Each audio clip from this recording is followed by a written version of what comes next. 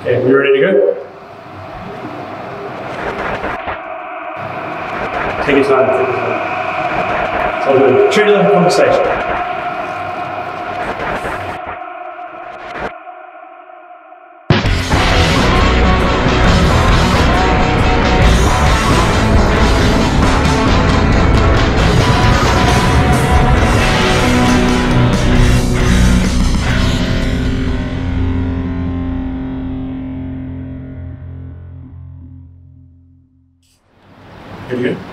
Go. All right.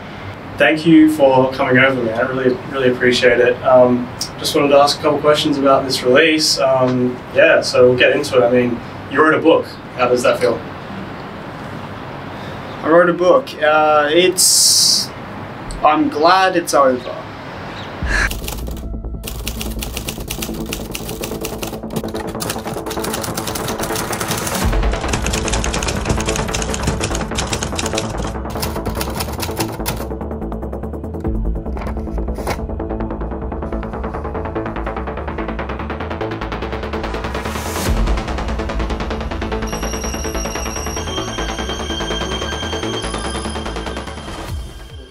I'm still very much in the being an author phase where I am concentrating on the book release and everything that happens after a book release because it doesn't really stop there.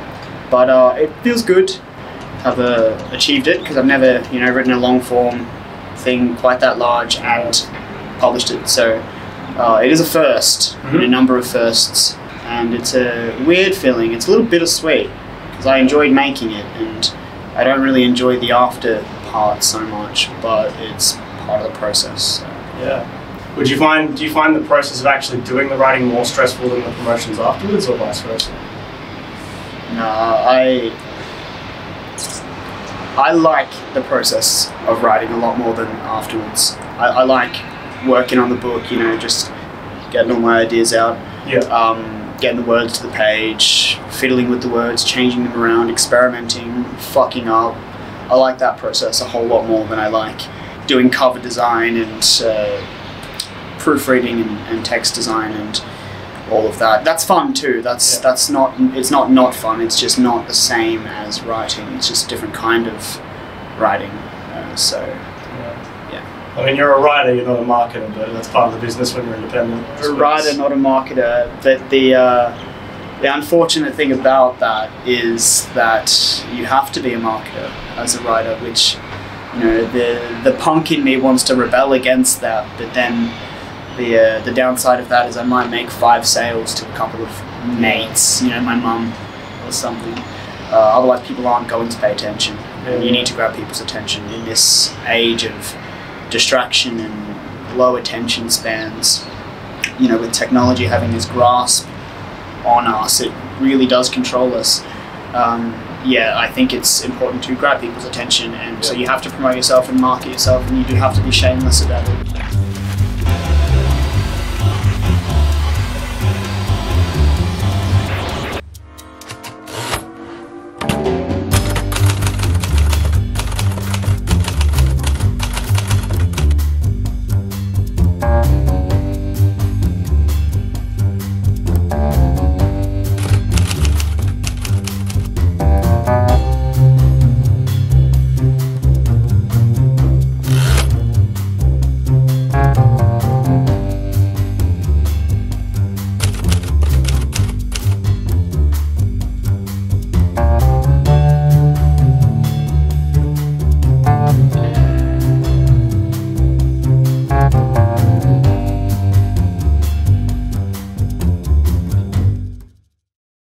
This is not your first book, right? No, it's not my first because I do have uh, a book that I wrote before this uh, that I co-wrote with uh, Robin Waldun and uh, Jay, the author. There's a Tale to the City. So this book that we're talking about now, The Street Poet, is it sort of bounces off that book. It, it develops the ideas that we established in that in that book, uh, and it kind of brings new ideas to a different light. Uh, and it explores the character of Johnny Locke, uh, who is first introduced in There's a Tale to the City. Um, but that book's much more a, uh, you could call it non-fiction really, the whole thing's a true story, we just really changed our names. Uh, but this one is, uh, I call it fiction, so it's a bit different. This is like the expanded edition.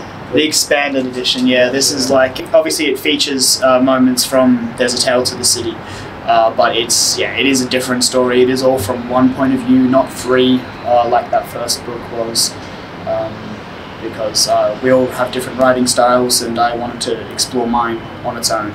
So.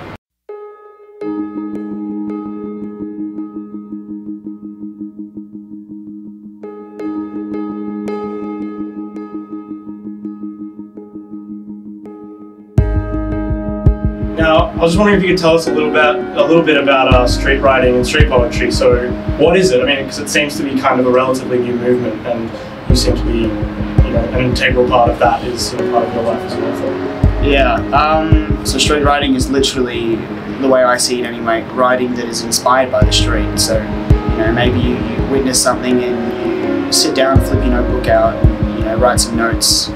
Uh, that's street writing, and then from there you can, you can turn that into a story. You can make it more engaging than just boring street life. But street writing, street poetry, that yeah, they are a relatively new movement that's happening, especially here in Melbourne, uh, where people are, you know, they're writing about the streets, or they're all, alternatively, they're putting their writing on the streets for other people to read. Like, uh, I wouldn't call it graffiti art. I think that's the wrong way to look at it. I would call it paste up art. You are pasting your art up on, on the city for people to read on the streets. Leave it on a train for someone to find, or you know, a bus a bus stop or something. Uh, that's street poetry. That's street art as well. The idea is basically poetry or writing on the street or about the street instead of in a book, which is ironic actually, because this is the book I'm releasing here. Your character in the book, um, Johnny Locke. So he sort of seems to discover what street writing is and like become a street writer after discovering Jay's Dear Stranger letters. Now, were you aware of what street writing and street poetry was before you saw those letters? At that point in time that I first found Jay's Dear Stranger letter, uh, which was the end of 2020, so we're all, you know, just coming out of lockdown for the first, one of the first times, going through, you know, we're all going through some shit that time. All I'd seen of this street poetry was there were a couple of other poets doing it as well. There's a Boy Under the Bridge. Uh, there was there was Jay with his letters, uh, and I would just stumble across them occasionally, not really thinking too much about them. Uh, but then it was Jay's letter that, sort of uh, kindled this fire in me, I guess, like in the pit of my belly, I felt this need to do what Jay was doing, to put my writing out on the street. Because I'm a, I'm quite, I'm quite a shy guy. I don't like public speaking.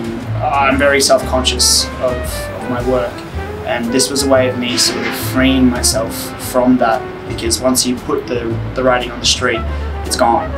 It's gone. It could be there for a day, a week, a month, a year. It could be there for as long as it wants to be there. I have no say over what happens with it once I walk away from that poem. Sometimes I would even write it and just leave it there. I would never keep a second copy. It'd be the only copy that I'd write. Yeah, it seems like a bit of like a sort of like a form of therapy for you, sort of coming to terms with what you want to put out, what you want to say to people, but without actually having to say it. Um, and I mean, that was pretty clear, like from the character of Johnny Locke, like as he was coming to terms with you know, his paranoia and stuff like that, how the street writing helped him. So, what's your process for writing the poems? I mean, do you sort of observe the streets for a couple of days and then you write some after that period, or do you see something that you're interested to write about and then write about it straight away? It depends on the poem, depends on what's happening. If I'm in a writing mood, I'm not always in a writing mood, if I'm in a writing mood and I see something, if, if I'm actively searching for stories and I come across something, I, you know, I'll take my notebook out or my, my the app on my phone and I'll start writing there and then. I'll come up with the first line of the poem and I'll keep going stanza by stanza. And that might not be the finished product, but I've written it at least in its first form. Uh, but that's not always the case. Sometimes I just write notes, dot points, you know, man walks past woman, man says X to woman, woman yells back at man. Just basic notes and maybe a feeling, some kind of mood or feeling, or maybe something that's happening in the scenery around them.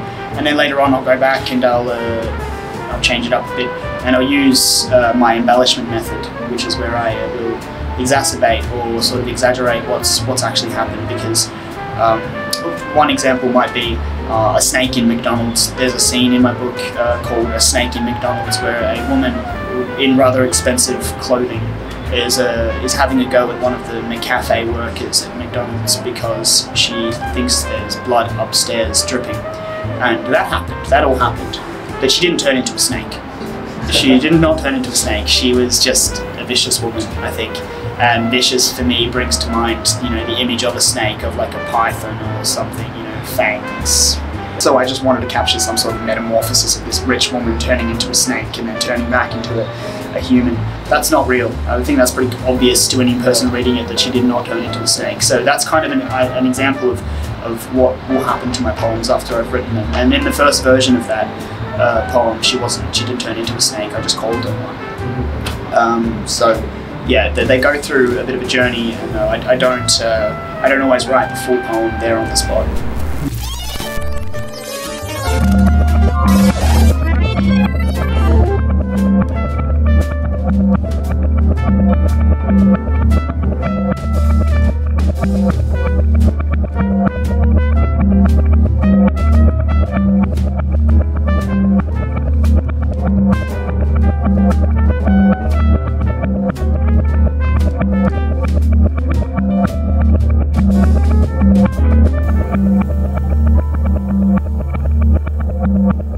So one thing, like I mean, especially in There's a Tale to the City and also the Street Poet, um, a lot of the more, more wilder stories that come out of it and the you know the more unique people that you meet comes from this t- idea of talking to strangers and approaching people for those stories. Now, a lot of people would consider that risky slash dangerous. Have you ever had any bad experiences doing that? Yeah, it's dangerous. It's it, it can be dangerous, uh, but it can also be really beautiful. Bad experiences. Yeah, I've had some bad experiences. I've had uh, sometimes my judgment's been a little off, and I've thought someone might be a little more reciprocating of uh, having a conversation. Uh, and then, you know they don't want to be bothered, so I have to back off and leave them alone. That's fine. We're allowed to do that. I don't always want to be spoken to either. I've had some bad experiences. I've, uh, as you might see in the book, uh, someone tried to rob me when I was just trying to be kind. Uh, I have had addicts assault me I've, I've had a few things kind of go wrong, but most of the time I'm aware of the stranger danger rule. I, I you know, I play it safe. Uh, I don't encourage anyone to put themselves in risky situations. That would be very irresponsible of me. well, have you had any good experiences though? Have you made any friends or know, connections doing the same thing? Yeah, I've made plenty of friends. Just talking to strangers. Uh, one of them I've spoken about him recently on my YouTube channel. I've uh, made friends with a man named Craig. He goes by Turtle on the streets. And yeah, he and I have become good mates. We talk about books together. We might see the same face walk past us every day on our lunch break and just choose to ignore that face. But if we just give that face a chance and talk to to them, uh, then yeah, it's a really nice, interesting conversations can emerge from that. Yeah, it sounds really special because I mean, clearly, a lot of people don't do that, and a lot of people overlook, you know, people that are homeless or struggling on the streets and stuff, and sort of, you know, they would never be able to hear the stories that you get to hear from doing it. So it's you do put your own life into perspective doing it, uh, but you also, you know, you do learn empathy. And I think empathy is something that we're struggling with a lot these days. We really struggle to just understand another person's point of view we really struggle to critically think about things. Uh, and that was something that I, I myself was struggling to do. My judgments were a little off, my perception was a little skewed, and I wanted to correct that and rebalance myself. And so, yeah, talking to people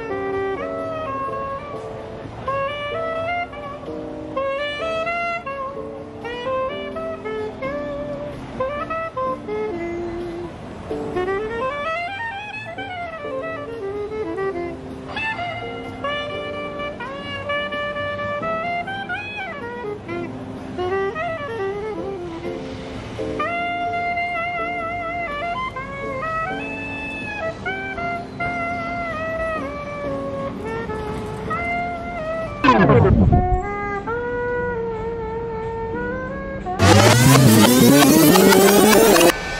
I have seen a video on your YouTube channel and stuff where you talk about, you know, people who say they want to be an aspiring writer and people who want to start writing and, you know, don't make that plunge. So, what advice would you give to people that really want to become, start becoming writers, but they don't really know how or where to start? Well, the first step is exactly that. Don't call yourself an aspiring writer, just call yourself a writer. That is the first step, that change of language that you use to associate with the act of writing. You take it seriously if you call yourself a writer, but if you call yourself an aspiring writer, you probably probably never will be published because you're not taking it seriously. You either write or you don't. So the first step is just write. You worry about the other stuff later. Worry about who's going to publish you. If you're going to be self-published or traditionally published, worry about what your cover's going to look like. Worry about how you're going to get it edited, how you're going to afford to pay a proofreader. You just worry about those things later. You don't worry about those things when you're writing because you might not finish the story you might not get to the end of that story. You might give up on writing, take up knitting instead. Sounds like a lot of it comes from that initial self drive. Yeah. It's all on you, sort of thing. It's all on you. No one's going to hold you accountable for your own writing but yourself, so you just have to do it.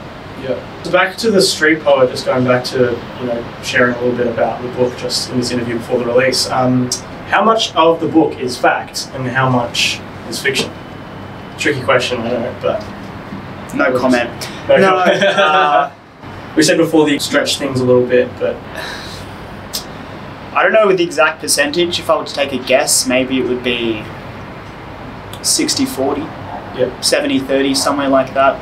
Uh, 60 being true, and the 40 or the 30 being fiction. Uh, so it's it's quite accurate. It's quite true to what I've seen, yeah. and there's not there's not a character in there that didn't exist. Yeah. Everyone existed in some form.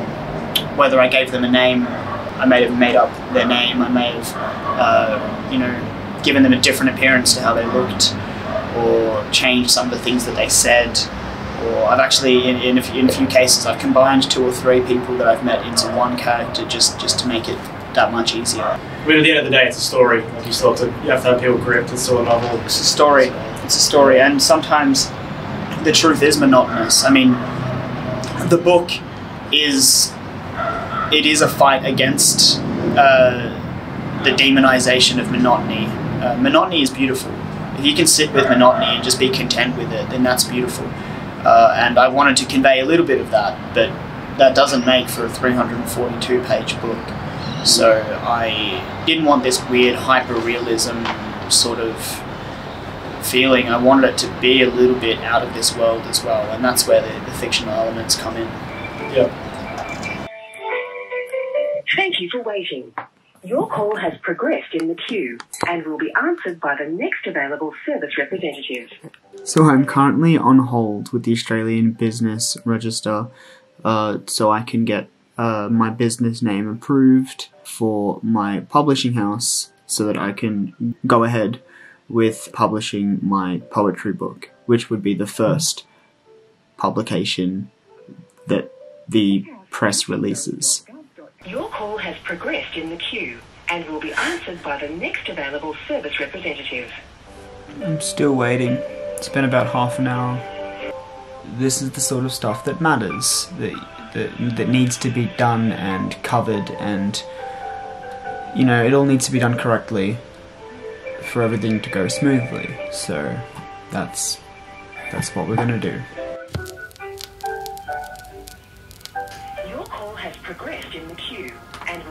Answered by the next available service representative. Sorry about the wait. How did your childhood impact the things you write about and the type of writer you are, if it did at all? Uh, my childhood, yeah, it's it's played a huge role in my writing. I think my childhood shaped who I became, who I'm still becoming, and I'm always changing.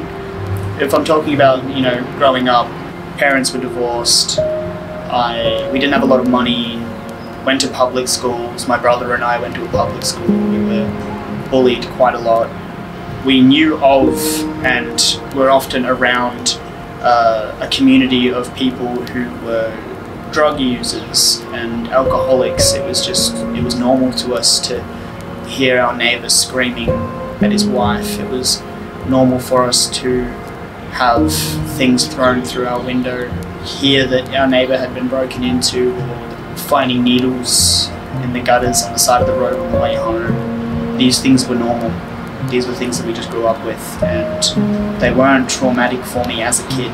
But when I grew up and I moved out of home and I started seeing life in a different way, uh, those things they felt like trauma. They felt like things I couldn't shake off. And I would say these are things that have had a huge impact on who I am because like like you can see in the book, I am paranoid. I have had paranoia for years now since I was a kid. Really, uh, always you know worrying about you know can someone see through my window?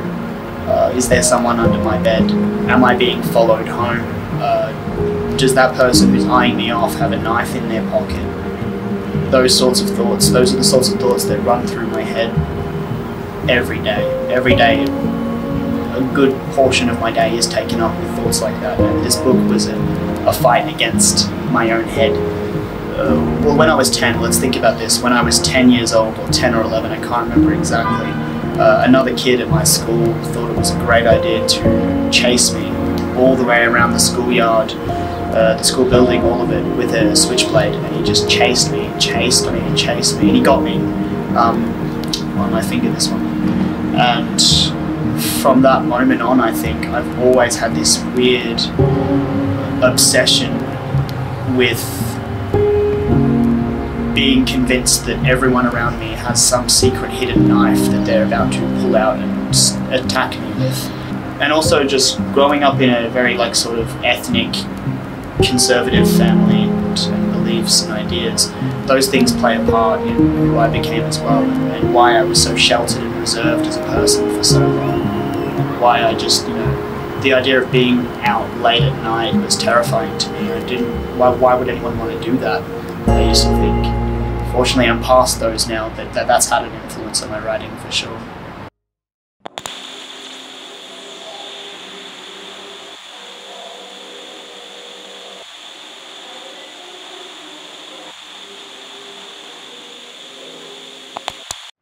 At the beginning of the street poet, you describe like why the reason you chose the Elias of Johnny Locke, so sort of mirroring yourself, but also not.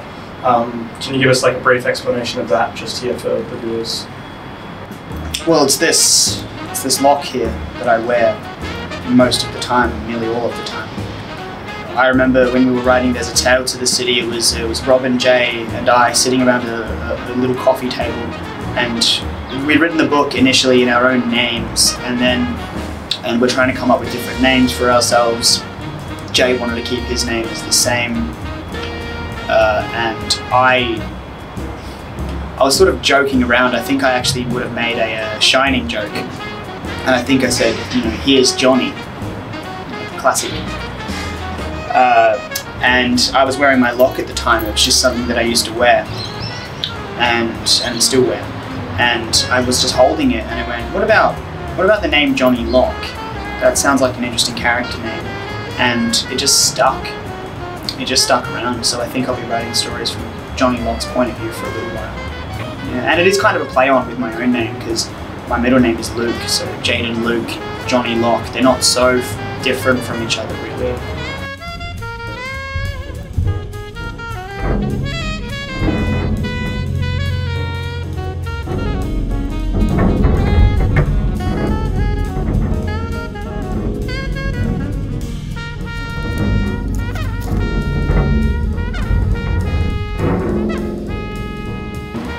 Some of your biggest literary influences? I do read a lot. Less so these days while I'm creating. Who influences Uh, your writing? One of my biggest ones would have to be Helen Garner. I think at the moment she's a particular favourite of mine. She's Australian, right? She's Australian, yeah. The first writers that influenced me were Tolkien. I loved Tolkien. And I was, you know, obsessed with Lord of the Rings. Uh, and I wanted to be a fantasy writer at the beginning. I've gone on a very, I've gone on a very different uh, path since then. Do you think we'll ever see any of those secret, hidden Johnny Locke fantasy manuscripts, or are they, have they been thrown away? I've still got. You still got I'm staying out. They exist. I stumbled across on one of my fantasy manuscripts recently, and uh, I think I was about 16 when I wrote that draft, and I was um, reading through it. The scarified skeleton trails along in the bike lane like Santa Claus out of work. Picture a boy, picture a boy who still lives with his mother, wrapped in big bubble wrapped dreams. I hop onto the I hop onto the morning train and touch eyeballs with the window pane. It's late at night. Pitch black at the bus stop. I'll die for I'll die for Get better! Oh, better off. As a writer, normally I would be writing right about now, or working on a piece of writing, but since my book is finished, I haven't really been able to write too much. I haven't been doing any fresh writing, or I do have, you know, in my notebook and a lot of poetry and notes and observations and so on that I still write on a day to day basis, but not working on any projects, which is a little bit strange for me, although I'm lying because I am working on a project. I thought it would be a good idea to release an album, a spoken word album that will uh, coincide with my book, The Street Poet, a selection of readings from the book with music, and uh, I decided that I wanted Melburnian musicians to help me with this. I've managed to secure a good friend of mine, Gutsfuck, He's worked with me in the past on some spoken word stuff, and now he's doing several of the tracks on this album with me. My dear friend Raphael Love. And just today, I've managed to secure a fourth artist to help me with the album. His name is Lo Munro, or, well, his name is Mark. Maybe punk is back, but maybe it's not, and there are still gatekeepers.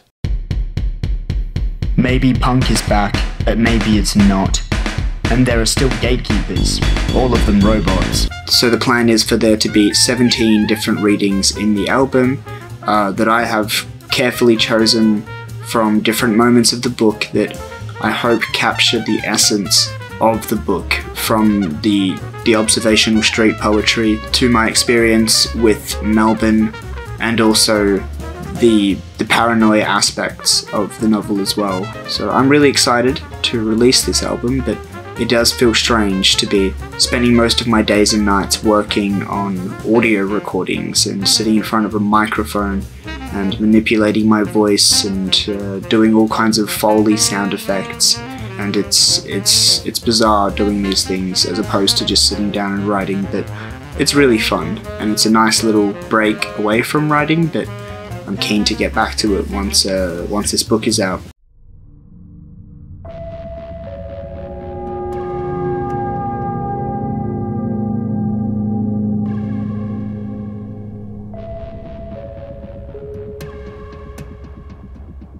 book, like the book tends to get a little darker towards like the middle and sort of just before the end. Um, your thoughts like seem more negative about the world in general towards the end here. Were these thoughts that you always had like about the world and stuff, or only came to realize about like after putting yourself on the streets and like really seeing it for yourself? I like that you mentioned this because when I first wrote The Street Poet, that ending wasn't the ending. It ended in a, in a much more hopeful, positive place.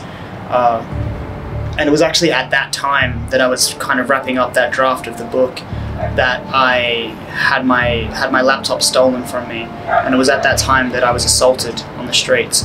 And for about two weeks, I went into this reclusive version of myself where I didn't want to leave my house, and I was I was anxious and I'm not much of a crier, but I felt like I needed to cry all the time. I felt this anxiety in my chest. I I was suspicious of everyone. Every time I was on the street, I was, I was looking over my shoulder. I was, uh, I wished I had eyes on the back of my head. I was that afraid. I was constantly trembling, constantly shaking. And then I decided life has just given me the greatest gift. Life has given me the ending to my book. And I realized that, yeah, I was a very hopeful person, and I, I am a very optimistic person most of the time. But I was really starting to fall into these cynical ideas again you can still have cynical ideas while being an optimist. You can balance both. Uh, and so I went from being this really optimistic person who meditated and was very calm and relaxed and I, I went from being that to being someone who actually had emotions and reacted to things when they happened to me, as humans should. I experience all of the emotions as everyone should. Uh, and that, that balance between optimism and, and pessimism uh, really started to come out for me, and I started to understand a bit more about my own human nature, but human nature in general. Uh, and something that I deal with a lot is, is this concept that Kurt Vonnegut talked about, the, uh, the existential hum. We're all existentialists, really, but yeah, for me, I'm always feeling it that sort of limbo state of not understanding what's going on with me, not understanding what's going on around me, being pulled like a tug of war from being optimistic, being pessimistic. Uh, and so the ending of that book was meant to be a fine balance between the two, where there is some chaos, there is some drama, there is a climax, and then there is a bit of a, a settling down point at the end as well. So, and that's also just classic story structure as well. You do need a bit of a rise before you can have a fall. So, yeah. Sounds like a really like human experience, with like a human way to end it. That's the fuck. That's that's the interior files. Uh, crying, screaming, throwing up. Okay, and uh, that's the. Oh, there it is. There's the baby. How beautiful. Chai, what's up, baby? I'm gonna throw up. Now we wait. What are we doing right now, Jaidyn? What what are we doing? So today is deadline day, so I'm uploading the book for print. I'm setting the release date and submitting the print interior files and the cover files and all of the metadata uh, to release this book, which is uh, stressing the fuck out of me. This close to throwing up. I'm so mad about the um the conversion rate between Australian dollars and USD. So annoying. But proceed to payment. Submission, submission, submission. It's a good thing. Okay, we'll get those card details on. Let's get those- Psych Let's get those card Nah. details. on the screen. I don't even know why I'm rambling about it. Congratulations, your title submission was successful. Alright, let's go get drunk. Let's go. Let's go! Let's go! Let's go! Hey! Yeah! This is crazy. This guy just said end of an era, but this is l- just the fucking beginning. This is just the beginning. There are stories, stories on the street. There are stories, there are stories on the street. Just finally, sort of wrap, to wrap things up, what keeps you writing? Like with all the pressure of a working day, um, working a day job, um, and the economy of the world, all the problems with art and technology, how do you hold up being a writer? What's the alternative? Like I was just saying before about the existential hum, either I'm a creator or I fall into the 9 to 5 trap. The alternative for me is I'm not going to be fulfilling myself, and that hurts me. And uh, it doesn't matter to me what sort of economy we're living in, what's going on around me in the world, what turbulence is happening. I have to create. I just I have to make something. I have to always be making something. There's always a project going on. Uh, that is my rel relaxation. My relaxation isn't really, you know, going on a holiday. My relaxation is working on what I'm passionate about, and so that's what keeps me going. I have to write. I have to tell stories. Uh, the real question is, yeah, what is the alternative? And the alternative to me is that nine to five, getting home and making dinner, going to sleep, starting the cycle again. I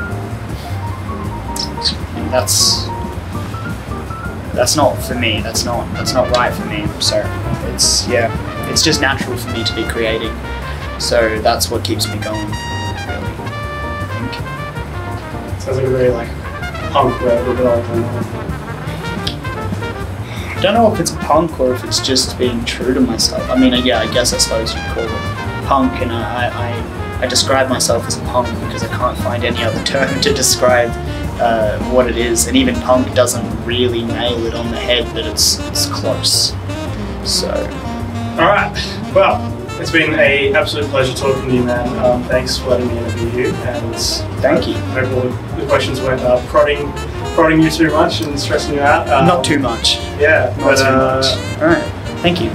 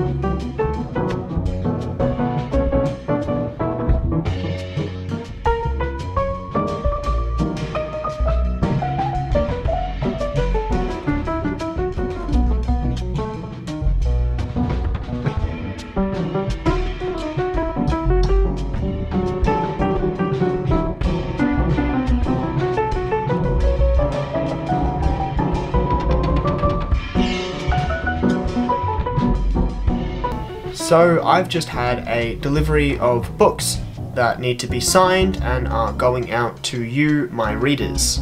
So we have in here so many, so many copies of this book. Um, and I'm going to be signing them all.